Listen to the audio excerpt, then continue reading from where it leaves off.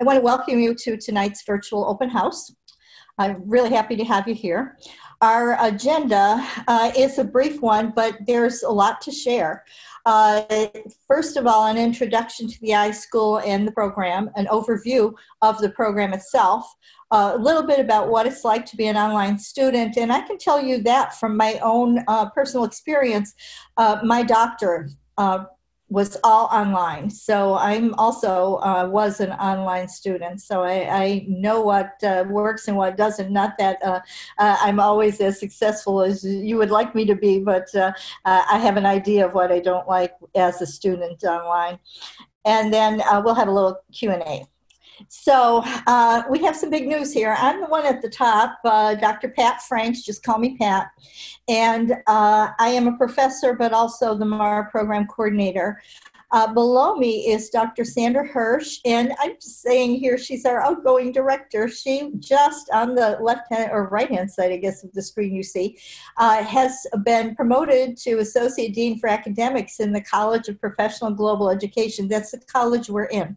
So, uh, Dr. Hirsch uh, is uh, going to be doing uh, her job as Associate Dean as well as trying to help us through the transition when we identify a new uh, um, director for our program. And Dr. Linda Main, right below her, uh, is the interim director, but she was our and is still our associate director. She's been here through two uh, directors now, and uh, she does not want to apply herself, but she wants to help with the transition. So she's going to make sure that we have a terrific search committee going and find the best possible replacement for Dr. Hirsch that we can.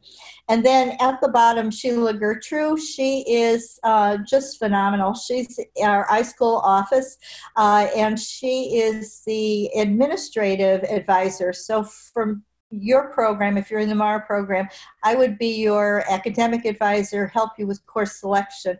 Sheila would be your administrative advisor, uh, being able to answer questions about, well, what if I want to take an elective? How can I get a permission number? Those types of things.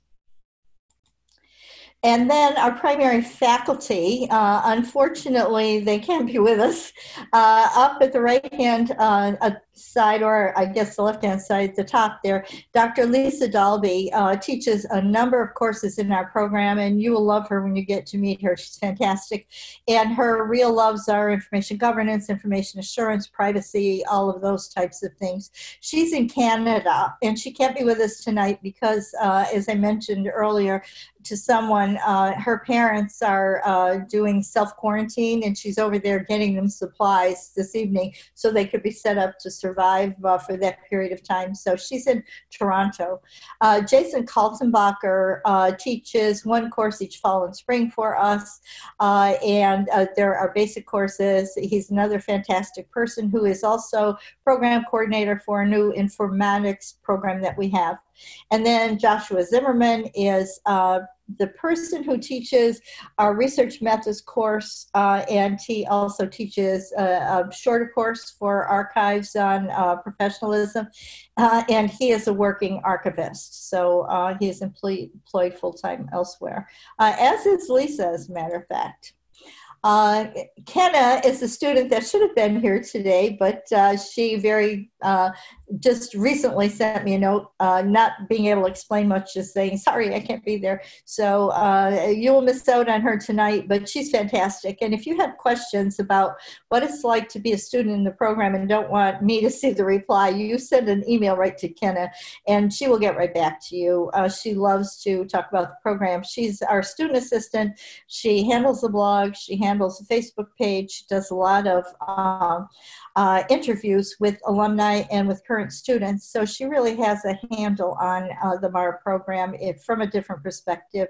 Uh, and uh, you see a little note from her there uh, about the assistance that she believes that she's received during the program. Uh, and she's going to be graduating soon, and I'm going to be sorry to see her go, but not, not sorry for her. I think she'll be with us until December. Uh, so uh, this, I am not Lisa, I'm Pat, but Lisa can't be here, so I'm going to talk to you about the Master of Archives and Records Administration program uh, and explain how it was put together. First of all, uh, the MLIS program is different. You're going to want to compare the two. The MLIS program does have an archives and records management pathway, they call it, uh, and you would have an MLIS degree that is ALA accredited, American Library Association accredited. All right. The MARA program is not because we don't want it to be, because to be accredited by ALA, you need library courses. That's a library association. Uh, this grew out of that other program where there were students who said, but I really want more time uh, to spend on archives, records management, and related courses. So this is our new uh, uh fairly new program. Uh, 2008, it was launched. Uh, and in order to create it, we looked at the ARMA core competencies for records uh, managers. What do you need to know, and be able to do? We looked at the Society of American Archivists and what they suggest for the graduate programs in archival education. Uh, and so that takes care of the archival coursework and the core competencies. And then we looked at the uh, certifying exams for uh, records managers, the Institute of Certified Records Managers, ICRM, uh, has a six part exam uh, and uh, they have competencies that they believe professionals should master. Uh, so we reviewed that. We also reviewed the exam from the Academy of Certified Archivists, and you will see that. Uh, and also, I should mention uh, below that we added later, so that wasn't at the beginning, uh, the material for the information governance professional. so all three certifications are different, looking at records, looking at archives, and then looking at an overarching overarching information governance program. And uh, you will see the alphabet soup at the end of my name. Here I have all three of those certifications. The other people who uh, teach for us have at least one or two of those certifications as well. Uh, so the CRA, CRM certification, all of our MARA students, when they graduate, receive a letter from me saying that they are eligible to receive credit for parts one through five of the six part ICRM exam uh, just by graduating from the program. That means you've mastered the core competencies. The sixth part is a case study. That's different. So they won't give you credit for that. Uh, but the uh, if you want to become a certified records analyst, uh, you usually only need parts two, three, and four for that. They will grant you that certification immediately. If you want to be a certified records manager, you have to sign up to take part six, that case a study part. And then once you pass that, you could become a certified records manager. You can even become the CRA first and then take as much time as you want to uh, move up through in order to be the CRM. They keep track of that, uh, uh, of the parts of the exams that they've given you credit for. So you can take as long as you want to move through that.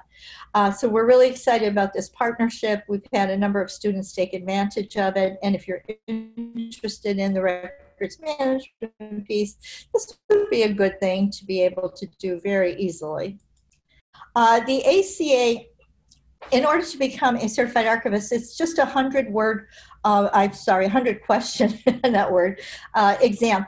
And uh, that exam they will not give you credit for. However, you do have to have certain coursework even to be eligible to sit for that exam. And they have pre-approved all of our MARA courses uh, that are required courses it, for this exam. So you would be able immediately to apply and they would just look and see you graduated from our program and know that you're eligible as far as coursework to sit for that exam. We have a number of students who've uh, taken the exam and been successful. Uh, I remember last summer one of our students posted on our Facebook page, I'm going to take this uh, CA exam. Uh, that was right after she graduated. And then a few weeks later she posted, I passed. So uh, we're very confident that the information we provide about archives is also exactly what you need to uh, uh, be a certified archivist. Uh, now, the core competencies, I've been mentioning competencies for the profession. Uh, what we did was come up with 10 competencies we believe all of our graduates need to know, uh, need to master when they graduate from our program. So they're listed here for you. I won't read through all of them, but here are things like uh, understanding the evolution of information record keeping systems in response to technological change. And we, we all, uh, Hope are keeping up with that. And it's something as, uh, you know, uh, simple now as uh, electronic uh, records management, but something more complex like uh, blockchain and artificial intelligence. So we look at all of the new technology and how it impacts the program, and we make sure we cover that within the program. And then you have assignments in class that support these competencies so that you have evidence that you have mastered them. Um, the uh, courses for fall, this is new for fall. So if you had looked at our website before, and maybe part of it is still being updated now, uh, you would have seen 33 required credits, but it's now 30, but you still have 42 credits you have to complete. 30 are required MARA courses. Those courses are listed for you here. Uh, that last course where uh, you see MARA 289, Advanced Topics in Archives and Records Administration, you do an e-portfolio instead of a thesis. We don't have a master's thesis option in MARA, so what you would do is complete an e-portfolio showing us how you've mastered those 10 core competencies I just showed you. And you do that by explaining what it means to you and then providing evidence that you have uh, uh completed coursework uh, that supports each one of those competencies. And your evidence would be your assignments, your PowerPoint presentations, your discussions. Students begin saving those right in the very first class, just putting them in their own. Uh, um, oh, either uh, their own online accounts or save them to the computer or whatever so that they're available there for when you're ready to graduate. So you can see here, these you must take all of these courses. But new for fall, what's new for fall is that you now have one extra elective. Before we had added on here uh, the um, internship or organizational consulting project course. So one was an internship course, but if you wanted to uh, do something at your place of work and you had a supervisor that said, we have a project we'd like you to work on, that wasn't part of your regular um, duties, then you could say, okay, I'll do that. That will be my organizational consulting project. So uh, those were the two options you had for that experience.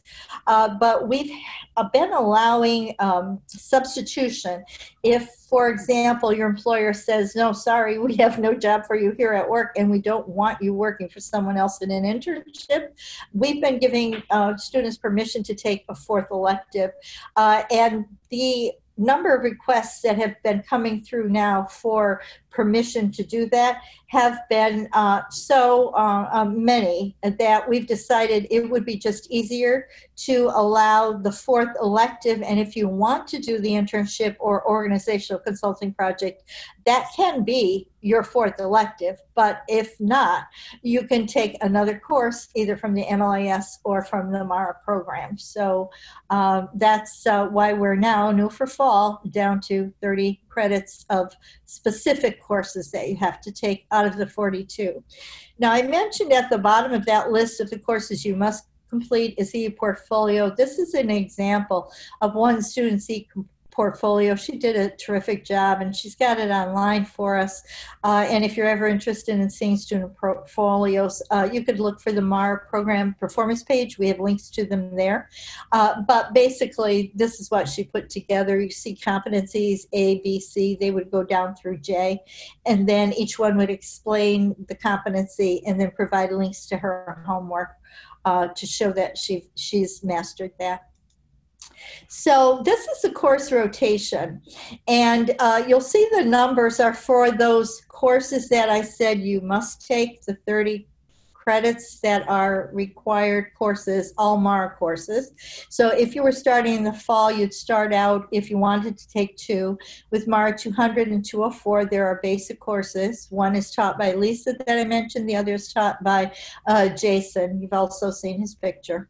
In the spring, uh, you would follow that up with two other courses, uh, MARA 210 by Jason and a, a 283 by me. Uh, that one's um, hands-on with um, SharePoint and also a digital repository, Preservica.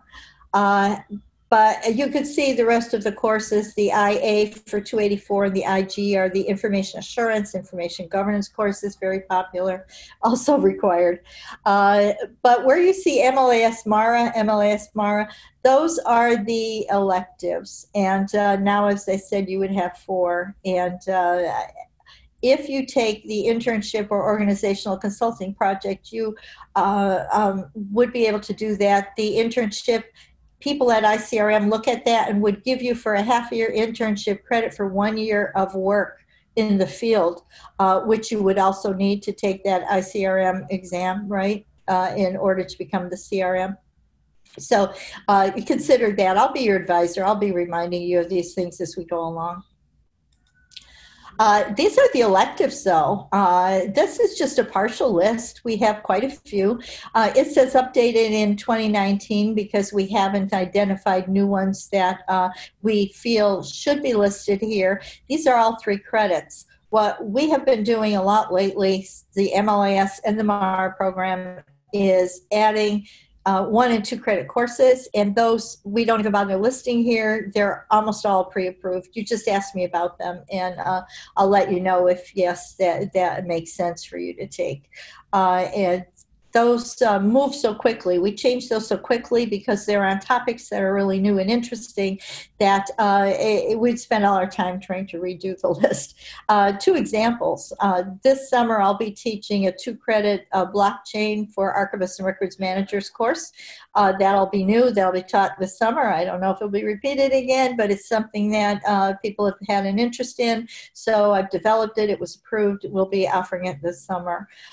in the fall, uh, one of our graduates uh, is going to be offering a virtual reality course. Some of us have been interested in how would you move to virtual reality for education. And so uh, she's uh, devised a one credit VR course. We'll offer that in the fall. We, again, don't know if it'll be offered again, but uh, it sounds like a fun option. And in the fall, we also have a two credit digital forensics course for archivists, which is fascinating. Uh, and uh, that one, we weren't sure it would be popular, but we're offering it now for the third uh, time, third fall, and uh, students really are enjoying it. So uh, we'll keep offering them until uh, they're no longer of interest and we have new ones that we want to put in. So uh, you can take any of these, a few others that we have listed, or any combination of one and two credit MARA or MLIS courses. So uh, there's something else that when you graduate from the MAR program, you not only have credit for those five parts of a six-part ICRM exam, but you also can elect to have an advanced certificate in strategic management of digital assets and services. That's a mouthful, but there are three pathways. You can only have one of these.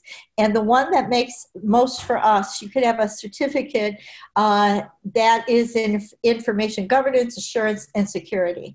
And that's the one that makes sense because Two of those courses are our MAR required courses, information governance and information assurance. And then what you would add is a cybersecurity three credit course from the MLS program. And you would be able to, once you graduate, request a certificate uh, for uh, those three courses. So uh, that's uh, kind of a popular option. Uh, this is the easiest, as I said, uh, to get. These are the courses that would make up that uh, uh, pathway uh, for digital assets certificate. Uh, and there are other two others, as I mentioned. If you're interested in digital asset management, and a number of our students are now, uh, then you could follow that, or data analytics and data-driven decision making. That's another popular area, and you can use those four uh, three credit courses, 12 units of elective credit in order to put together any electives in any area of interest that uh, we're not covering in our required courses. So, uh, courses for fall admits, I'll just quickly go over this. Dr. Lisa Dalby teaches this 220 course, uh, as all the others are. It's ACA pre-approved, uh, but it's also our writing course. And uh, it's a course in which you're introduced to uh, the APA style of writing uh, that's required for uh, all of the programs in the iSchool. and it's also the course in which you are offered a one-year paid membership in ASIS, NAGARA, or SAA. ARMA is not on the list because ARMA um, has not been able to reach a, a uh, an agreement with us. Uh, they believe students should be taking nine credits in order to qualify for uh, student membership, and we disagree because you're part-time students. And for us, we're really excited when you get through a three-credit course. Uh, six credits is all for one semester. Most of our so for now, uh, these are the three options that make the most sense. Uh, you're going to take two courses. Taking one, you take Lisa's. That's the foundation. But if you're taking two, you add uh, Mara 204, Jason's course. Uh, and this one is really great management and leadership course. Everybody is really going to leave our program feeling that they can take over a program. It's not that you're going to go in and maybe you will at entry level. It all depends on, you know, what you apply for and what you accept. But you would feel very comfortable going in and being able to take over a program or being able to start a new program. So this management course is just fundamental to the program and you'll enjoy working with Jason. He's, he's fantastic.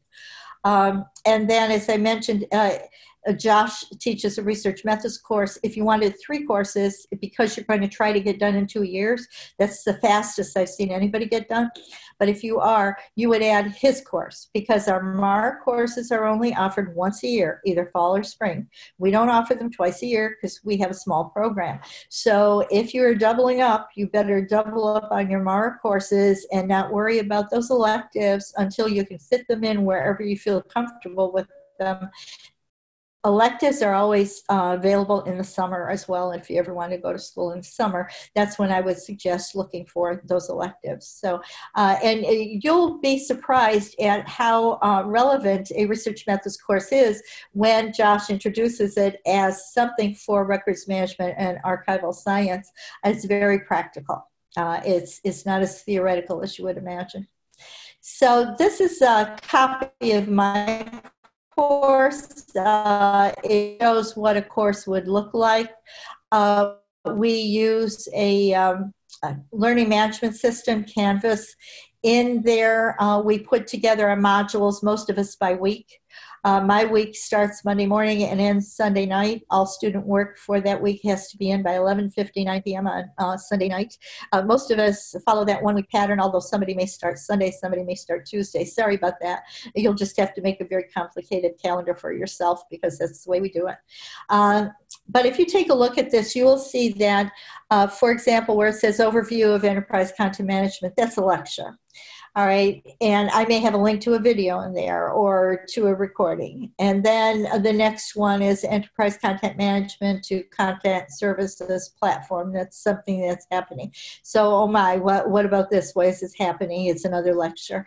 And then we have a discussion about the features of both. Uh, and uh, then we get into a little lecture here on uh, SharePoint because this course is where I introduce you to Office 365 and SharePoint, and we use a book for that. So there's readings on SharePoint and then uh, SharePoint features, and then we actually have assignments within SharePoint where uh, you hop into SharePoint. You're going to have an account there. It's not your own. You don't download anything. You're working in the cloud and something that I am administrator for. You would create a site in there. You're going to learn how to declare records. You're going to learn how to do so much more. So, but that's what the uh, thing looks like. You've got discussions, you've got assignments, you've got uh, uh, lectures. And when there's an assignment and says 10 points, 10 points, you do that somewhere else maybe, but you come back into Canvas always and either say, I've got it done or upload a paper there if the assignment were a paper or whatever whatever may it be. Uh, so everything is contained like this. And then we have one for every uh, module. Uh, so I have 15 modules like this for each semester. In the summer, I would have fewer. So this is where Kenna would have started. These are all the things Kenna is in charge of, uh, except for this. Uh, we have an iSchool curriculum center blog, uh, and this one you want to pay attention to. Uh, it has more generic information. The top one is by uh, Dr. Linda Main, who talks about the courses. That's where courses that maybe are dropped uh, for low enrollment are listed. Our MAR uh, courses are never dropped, never worry about that, but electives maybe. Uh, and then uh, the student blog, we often have uh, uh highlights about students or graduates, whatever. This one here is a, uh, a tour that students took of a corporate archives. And so uh, who has been the um, uh, editor for that iSchool blog uh, wrote about that. She's also done some uh, work on our MAR program and interviews with our students as well. This uh, is the iSchool Mara blog. Uh, this is the one Kenna takes uh, control of. And uh, you'll see on the uh, side of your screen, the right side, uh, one interview that Kenna had conducted was of a Mara student who was appointed to, Uh, appointed to the ArchivesSpace Board. And so it was a little congratulatory kind of thing. Let's highlight him uh, on our blog. Down below is a picture of a number of us. We were at ARMA InfoCon in November. Uh, we are virtual, so we often don't meet in person, but if we ever have a conference and we're there, uh, I will invite you to breakfast, usually the second day of the conference, so we can do a quick meetup before sessions on that second day. So at least those of us who are there can get to meet each other. And uh, so that's always fun. Uh, and if you're just floating around somewhere and I happen to be in town for a conference, so let me know and we might be able to meet up that way too. One of our students realized I was going to be in DC for a conference in uh, January. She was not attending, she was working at NARA, uh, but she sent me a note and said, I'll be in Union Station at five o'clock changing trains. You want to meet? So I ran over and we actually uh, had dinner there together, and then she hopped on a la- later train to go home. So we try to uh, make uh, arrangements to meet up whenever we can. Right, and this is the close-up of that picture there, and uh, I'm hiding in the back uh, here, but uh, you'll see a number of us there.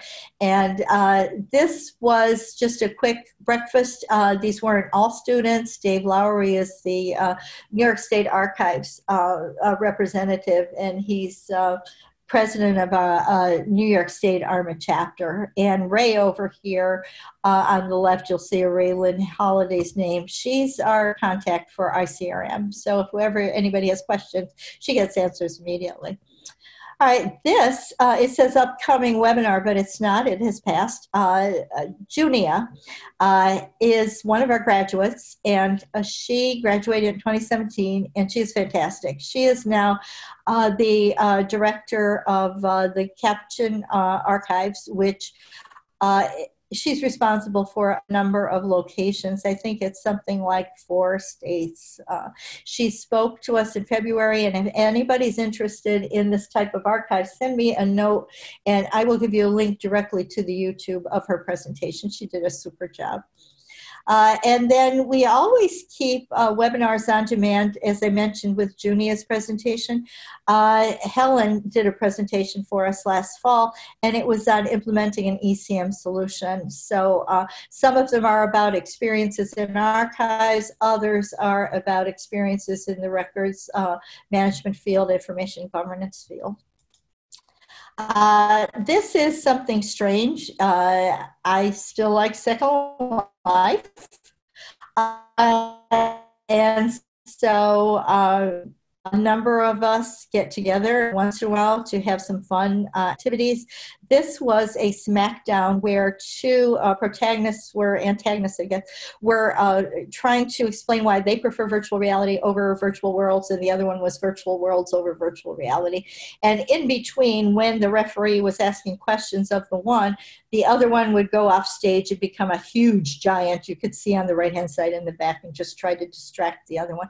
Uh, it, it, was so much fun that they were invited to present at another conference. And uh, we are seriously looking at virtual reality. We're meeting not only in our Second Life world uh, as our base, our hub, but we also meet in Kitely, which is kind of a intermediary uh, virtual world to virtual reality. And then uh, we are uh, researching right now uh, virtual worlds. Marie, who's going to teach that uh, virtual reality course in the fall, is um, uh, working on this uh, actually for HP Labs, so she's got that uh, practical experience as well.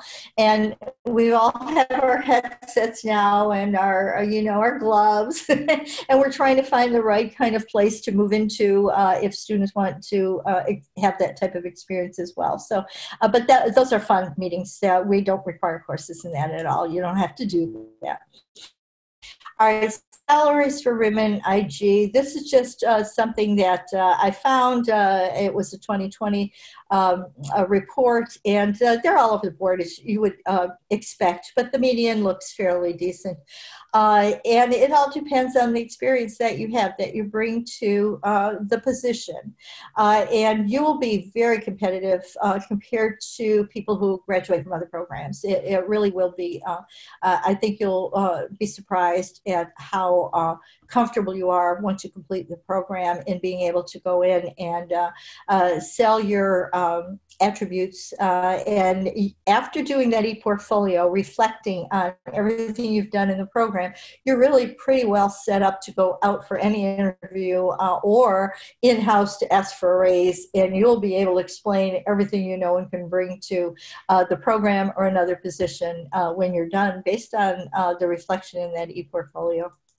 So why MARA? Um, well, First of all, why SJSU, Uh, it's a fantastic university, and uh, as some of you have pointed out, uh, the iSchool is amazing. Uh, we have such technology, such support for students and for faculty uh, that uh, if you have issues uh, that need to be resolved with technology, for example, we have a team that takes care of that.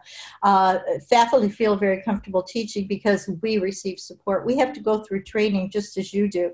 And if a person who wants to teach for us can't handle the training they can't teach for us and that has happened to a couple people that i know of that were really excited and wanted to teach but they they just didn't get the hang of uh, being able to put courses together and uh, be as committed and involved as you need to be when you teach online.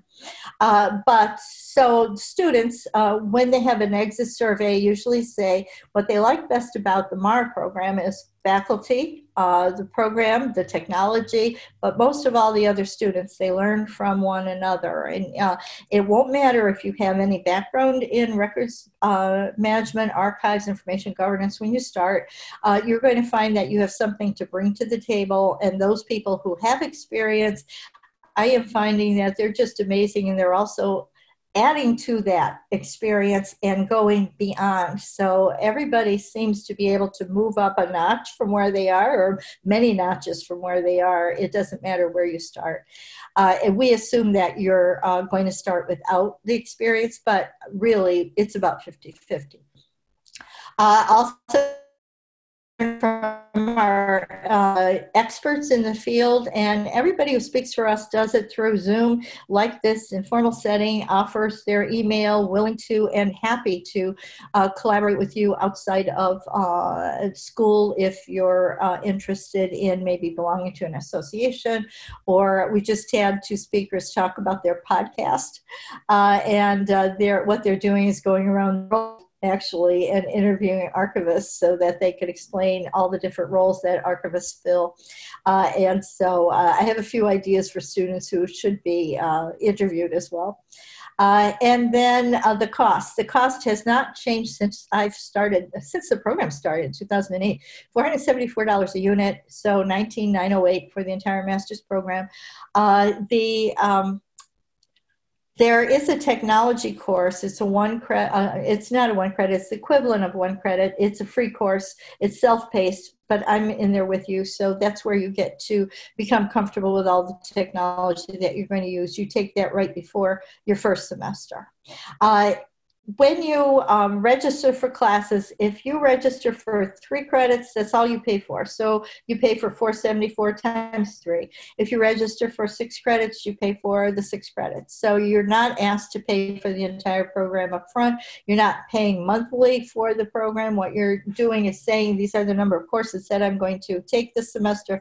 This is what my bill is going to be for the semester. If you take one course over the summer or whatever, then that's fine as well. Um, you can take, and I, I, don't know that I mentioned that here, but you can take uh, one semester off without even requesting uh, permission to do that after you've completed a semester. So, say you have your fall semester done, and you find out that in the spring you've got a new responsibility at work, it's going to be a lot of work, and you just can't handle it, uh, and still do well in your classes. You may say, I'm going to take the semester off in order to become acclimated with my new job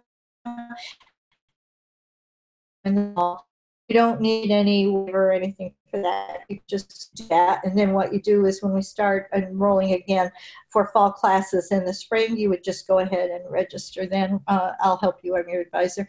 But if you need to take off two semesters after you complete one semester, if you need to take off two, uh, there is paperwork that you would need to complete for that. So you'd have to do some uh, uh justifying, explaining why. So the application process, uh, you do need a 3.0 GPA a minimum. Uh, if you don't have one, you could take classes at another school and build up the last six uh, you've completed uh, on the bachelor's level uh, and beyond. And then once you get to the 3.0, you can apply. So once you apply now, they'll look for that 3.0 overall. If they don't see that, then they'll look at your last 60 units of credit.